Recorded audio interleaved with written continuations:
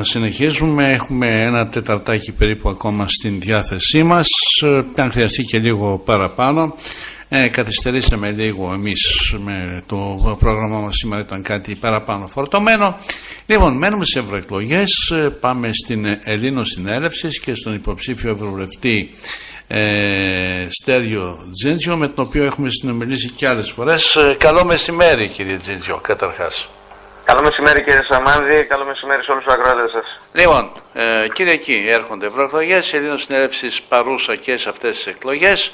Λοιπόν, ε, ξέρουμε ότι κάνετε και στις διάφορες περιοδίες. Τι γίνεται, τι, τι λέει η κοινωνία, τι λέει ο κόσμος; Αυτό που εισπράττουμε αυτή τη φορά από τους πολίτες ε, κύριε Σαμάνδη είναι μια ολοκληρωτική απαξίωση ε, προς τα κόμματα της Βουλής, ιδιαίτερα ε, Πασόκ, Νέα Δημοκρατία, ΣΥΡΙΖΑ, ακόμα και το ΚΚΕ, το ΚΚΕ το έχουν απαξιώσει, παρόλο που γνωρίζουμε ότι το υποστηρίζουν στεναρά οι οπαδοί του, ε, διότι έχουν αντιληφθεί ότι εάν μπορούσαν να κάνουν κάτι ή να το πω διαφορετικά, αν θέλανε να κάνουν κάτι τόσα χρόνια, θα το είχαν κάνει.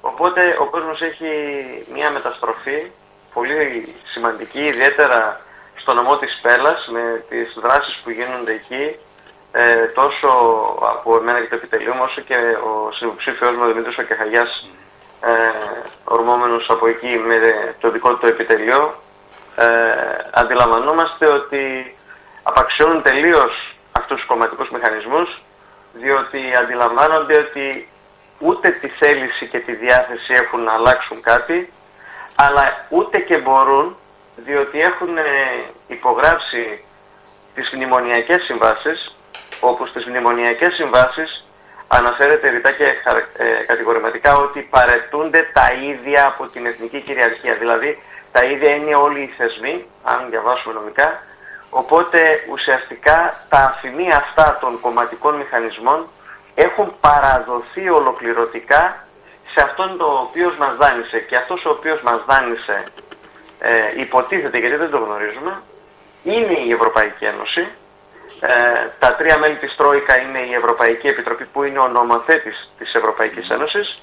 Είναι η Ευρωπαϊκή Κεντρική Τράπεζα που είναι ένας από τους 7, από τους 7 θεσμούς λειτουργίας της Ευρωπαϊκής Ένωσης και το Διεθνές Νομισματικό Ταμείο στο οποίο είμαστε ιδρυτικά μέλη και πληρώνουμε τους μισθούς, είμαστε δηλαδή στο payroll ε, των μισθών του Διεθνούς Νομισματικού Ταμείου.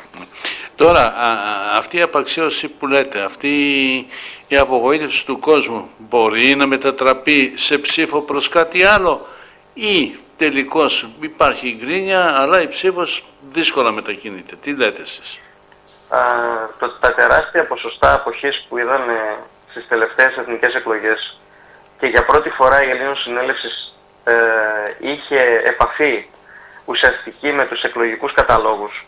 Είδαμε ότι για πρώτη φορά πέρυσι ακούσαμε μετά, την, μετά τον καυτηριασμό και τη δήλωση του πρόεδρου μας του κ. Αρτέμις Σόρα ότι έχουμε βρει εκατοντάδες χιλιάδες νεκρών μέσα στους εκλογικούς καταλόγους και ότι το ποσοστό της αποχής και το ποσοστό των, των ψήφων που έχουν λάβει ε, ο κάθε ένας ξεχωριστά είναι ε, ρευστά και θεωρητικά γιατί δεν υφίστανται οι εκλογικοί κατάλογοι.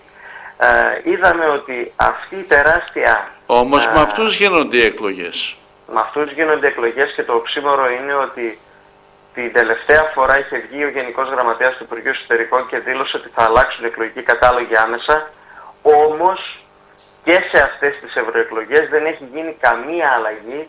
Πάμε με τους ίδιους εκλογικούς καταλόγους, με τις συζητήσεις που κάνουμε ανά την Ελλάδα το αντιλαμβάνεται ο κόσμος αυτό και υπάρχει μια μεταστροφή.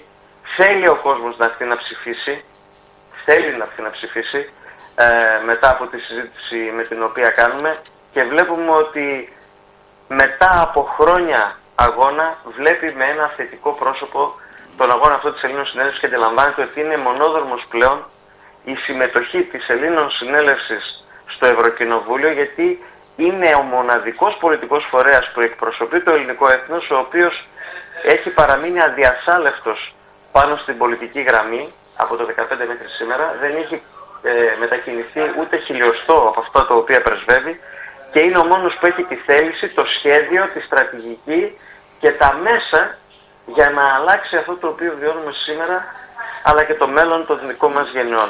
Πάντως το, το θέμα της συμμετοχής το αντιλαμβάνεστε κι εσείς αλλά ε, ερμηνεύοντας και όσα δεν τα λεγόμενα μεγάλα κόμματα φαίνεται να προβληματίζει, φαίνεται ο κόσμος να μην θέλει να πάει να ψηφίσει. Βλέπουμε ότι η ολοκληρωτική απαξίωση αυτή η οποία βιώσαμε και βιώνουμε και προσπαθούμε να την μεταστρέψουμε ε, είναι προϊόν όλων αυτών των κομματικών μηχανισμών και των στρατηγικών δεν μπορώ να τις πω πολιτικές, γιατί δεν υπάρχει mm. πολιτική με ήττα, γιατί δεν υπάρχουν πολιτικοί με όμικρον Γιατί δεν υπάρχουν πολίτες στην ουσία. Ε, άρα αυτές οι κομματικές πρακτικές έχουν απαξιώσει, έχουν κάνει τον Έλληνα να απαξιώσει τη συμμετοχή στα κοινά. Ε, και δει τους νέους ανθρώπους. Ε, αυτό το οποίο είπατε πριν ότι η ψήφος δεν αλλάζει ε, αφορά τις μεγαλύτερες ηλικίες.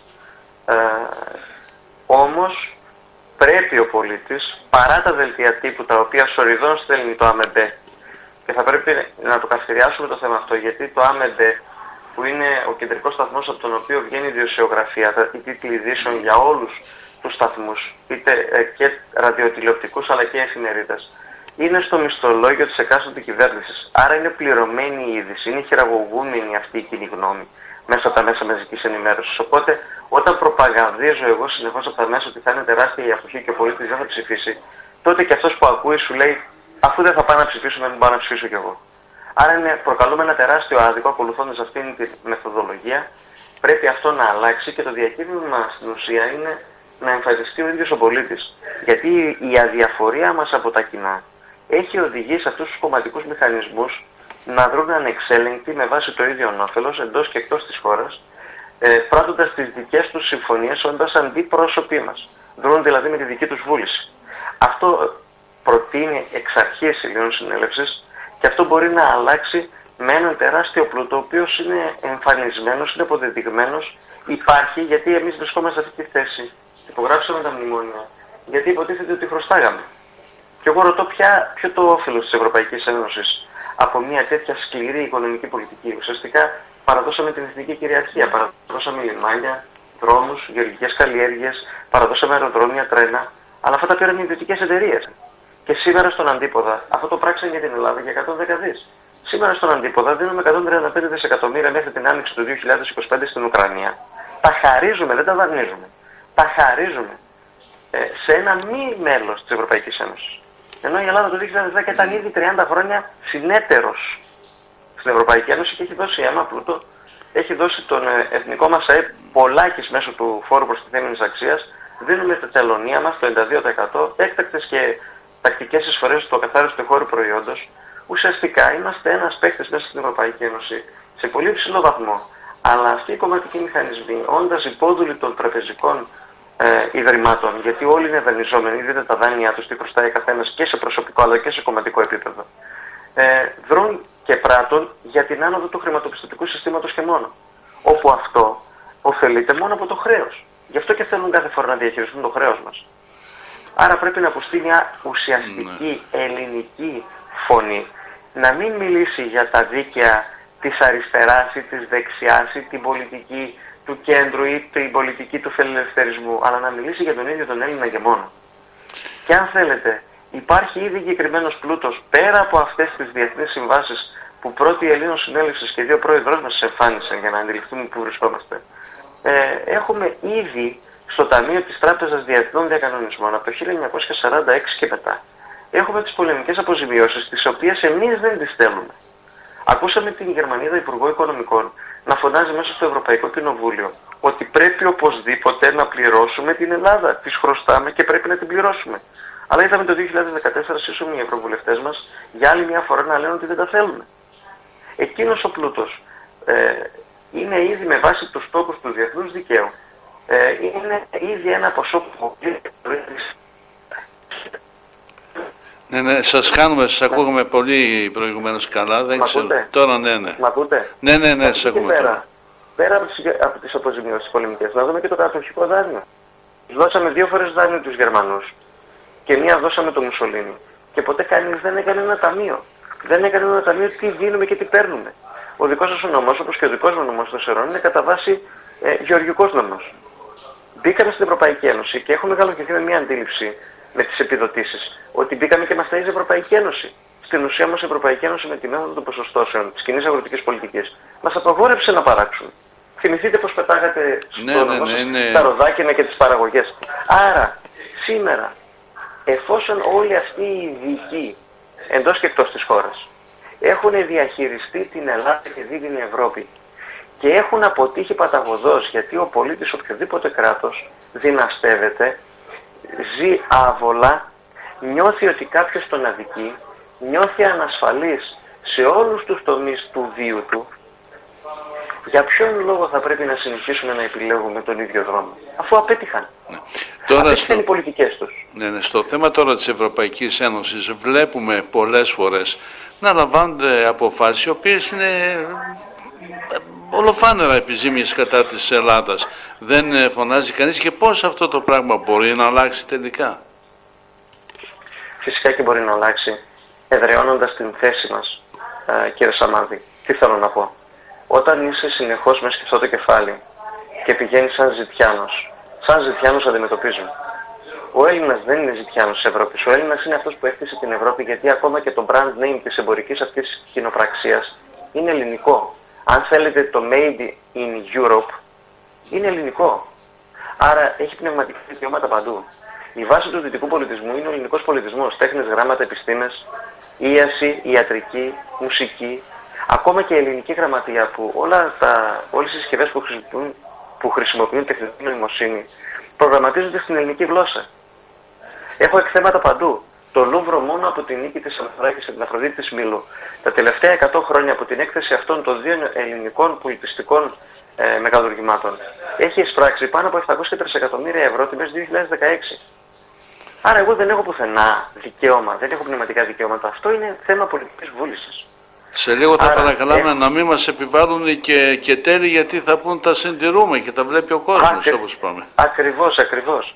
Άρα θα πρέπει να επαναπροσδιορίσουμε ποιος είναι ο Έλληνας, τι ακριβώς ζητάει, πού βρίσκεται στο ρου της ιστορίας, πού πατάει. Πατάει ακριβώς στο κέντρο και στη βάση γιατί πάνω του στηρίχθηκε σήμερα όλος ο πλανήτης. Η δημοκρατία την οποία όλοι ε, είναι το μεγαλύτερο δώρος που κάναμε στην ανθρωπότητα ως ε, ελληνικός πολιτισμός. Σήμερα την καπηλεύονται και τις βάζουν και επιθετικούς προσδιορισμούς. Η δημοκρατία όμως, λένε για ευρωπαϊκή δημοκρατία, αλλά στην ουσία είναι μια αναρχία κομματική. Η δημοκρατία δεν έχει κόμματα, έχει μόνο δημόσια διοίκηση.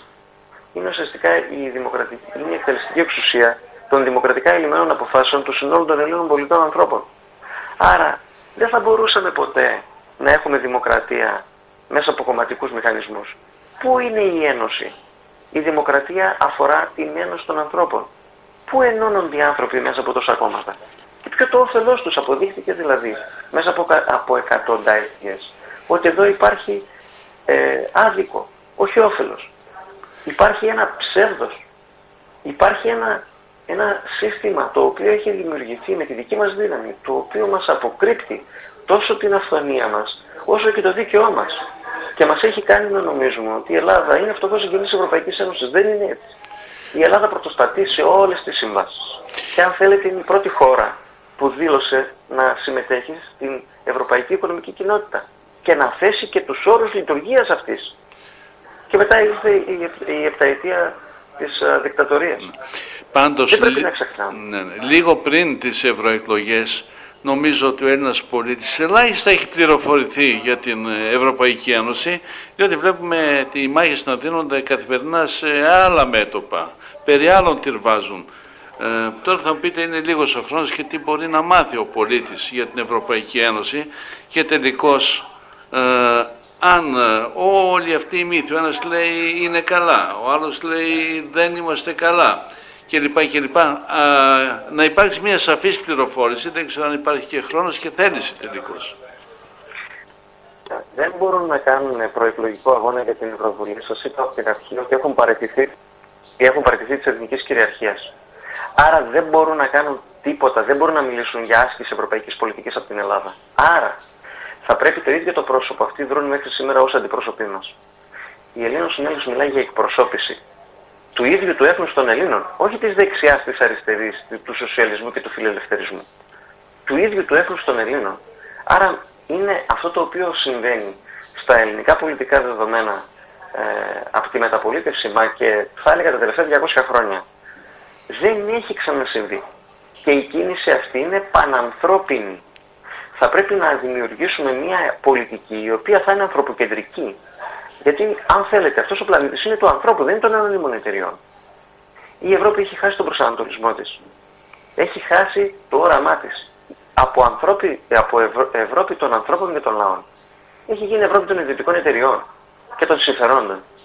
Ναι, αλλά δεν βλέπουμε το συμφέρον του πολίτη πουθενά. Όταν είμαι εγώ συνέτερο σε μια επιχείρηση να αντιληφθεί ο κόσμος και βάζω ιδρυτικό κεφάλαιο όπως έβαλε η Ελλάδα, έχει κάνει τρεις φορές ανακεφαλαιοποίηση την Ευρωπαϊκή Τράπεζα Επενδύσεων, έδωσα πλούτο. Δίνω τον ΦΠΑ με βάση το κοινοπρακτικό ή στο ακέραιο, τα τελωνία μου, έκτακτες εισφορέ και τακτικές. Δίνω τόσα πολλά χρήματα. Παίρνω ψύχο πίσω. Δεν έχω κάνει ποτέ έναν έλεγχο. Είναι δυνατόν να μιλάω εγώ ότι πρέπει να φύγω από την Ευρώπη, όπως μιλάνε όλα τα αριστερίζοντα κόμματα; Πώς είναι δυνατόν χωρίς να κάνω ένα ταμείο, εγώ μπορεί να έχω διαφυγόντα υπερκέρδη εκεί. Άρα θα πρέπει να κάνουμε έναν έλεγχο ουσιαστικό. Και θα πρέπει να μας δώσει ο πολίτης την δύναμή του, την ίδια του την ύπαρξη. Η ψήφος μας είναι η ίδια μας η ζωή. Άρα θα πρέπει να έρθει και να στηρίξει αυτόν τον αγώνα, ο οποίος είναι αδιαπραγμάτευτος από εμάς και δι' από τον πρόεδρό μας τον Αρτέμις Σόρα, ο οποίος είναι ο μόνος πολιτικός ο οποίος διώχθηκε για τις πολιτικές του πεπιθήσεις και φυλακίστηκε. Μετά την μεταπολίτευση δεν υπάρχει άλλο τέτοιο δείγμα. Γιατί αθωώθηκε και για τα 600 δις και για τις μετοχές της Ανατολής και για την εξαγορά του ΤΑΦΙ για τη διασπορά ψευδών ειδήσεων και τιμωρήθηκε γιατί μίλησε για ένωση των Ελλήνων στη βάση της φυσιολογίας του ανθρώπου και για έναν τεράστιο πλούτο, για να αποτινάξουμε αυτά τα δεσμά τα οικονομικά που έχουμε. Άρα, Ζητούμε την ψήφο του Έλληνα πολίτη. Ζητούμε την ίδια την ύπαρξη. 9 του μηνό ψηφίζει Ελλήνων συνέλευσης. Γιατί εμείς είμαστε ακομάτιστοι, αχρωμάτιστοι. Αν θέλετε, είμαστε βαμμένοι μόνο με τον μπλε της Ελλάδος, μόνο με τον μπλε του Έλληνα. Δεν σκεφτόμαστε τίποτα άλλο νυχθημερών τόσα χρόνια παρά τη χλέβη, παρά τον πόλεμο, παρά τη λασπολόγηση, παρά μόνο το κοινό όφελος όλων των Ελλήνων πολιτών και αυτό αν είναι να το πράξουμε σε ευρωπαϊκό επίπεδο, ναι θα το κάνουμε. Αν είναι να το κάνουμε σε παγκόσμιο επίπεδο, ναι θα το κάνουμε. Αδιαπραγμάτευτα. Δεν πληρωνόμαστε από κανέναν, αυτοχρηματοδοτούμε αυτόν τον τεράστιο αγώνα και ζητούμε τον Έλληνα πολίτη να στηρίξει αυτή την επανάσταση. Γιατί μιλάμε για ουσιαστική επανάσταση του ίδιου του ανθρώπου με νου και λογική. Ενάντια σε όλο αυτό το, το καθεστώς το οποίο καθημερινά μας κοροϊδεύει. Μας μιλάνε για πληθωρισμό 3 και 4% όταν το λάδι έχει 200% στο ράφι. Μας μιλάνε για πληθωρισμό 3 και 4% όταν το Brent έχει πέσει στα, 73, στα 76 ευρώ το βαρέλι και το λίτρο έχει φτάσει 2 ευρώ. Τι είναι αυτό το οποίο μας λένε; Για ποιον πόλεμο και παγκόσμια κρίση μας μιλούν. Που δεν υπάρχει καμία παγκόσμια κρίση; Ε, ούτε επισητιστική κρίση, ούτε οικονομική. Ναι, ναι. Και κάτι τελευταίο για να κλείσουμε κύριε Τζίτζιο. Ε, ε, ε, η Ελλήνος Συνέλευσης ε, συνηθίζει αυτά που ισχυρίζεται να τα συνοδεύει με αποδείξεις. Πάντα. Όμως, πάντα, ε, θα έλεγε κανείς ο πολίτης βλέποντας όλες αυτές τις αποδείξεις να, να σκέφτεται διαφορετικά τα πράγματα όμως όταν έρχεται η ώρα της απόφασης βλέπουμε να μην υπάρχει τόση ανταπόκριση πώς μπορεί να ερμηνευτεί αυτό; Προσέξτε όταν εγώ δεν μετράω δεν μπορώ να μιλήσω για ψήφους και ποσοστά. Τι θέλω να πω; Εγώ Λέτε ότι δεν είναι πραγματικά αυτά που βλέπουμε τα ε, αποτελέσματα. Μα όλες οι στατιστικές είναι πληρωμένες από την εκάστοτε κυβέρνηση αγαπητέ μου. Ο, η Singular Logic από το 1987 και εδώ πάντα παίρνει με ανάθεση λόγω εκτάκτης ανάγκης, έτσι προκύπτει πάντα.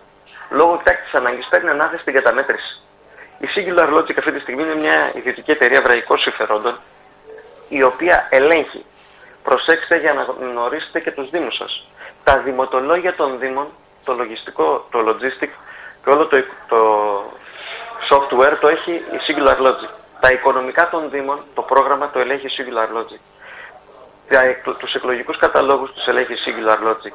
Τα εκλογικά κέντρα, το σύστημα δηλαδή το ελέγχει η Singular Logic. Άρα μιλάμε για ένα ελληνικό κράτος το οποίο έχει παραδοθεί πού, στο Ισραήλ.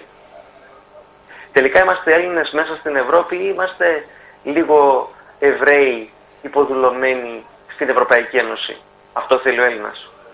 Να επιλέξει τι θέλει. Εμείς είμαστε εδώ για αυτόν. Και μόνο για τον Έλληνα. Αρκεί να σκεφτεί και να επιλέξει ο ίδιος. Είναι απόγονος του τεράστιου Λεωνιδά. Είναι απόγονος του Πυθαγορά, του Αλέξανδρου Ωμέγα, του Φιλιππού. Πρέπει να σταθεί στο ύψος του γένους. Δεν μπορεί να κάνει εκτόσεις, ούτε να μπει σε διαδικασία πίστης.